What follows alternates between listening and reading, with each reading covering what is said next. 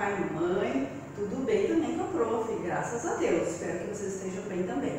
Vamos começar a nossa atividade da semana, que se chama bolinha no cesto.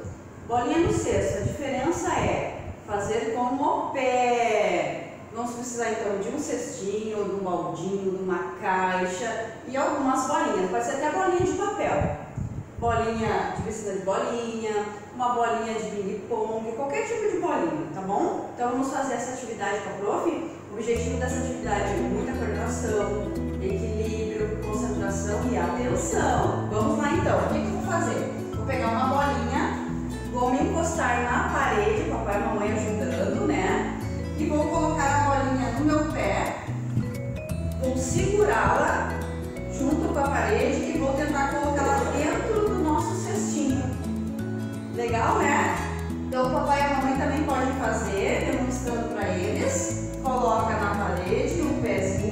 encostado, bota a bolinha e coloca a bolinha.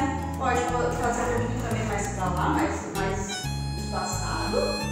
Coloca a bolinha e dificultando um pouquinho, é claro, para eles, mas com certeza eu tenho certeza que vocês vão conseguir fazer essa atividade.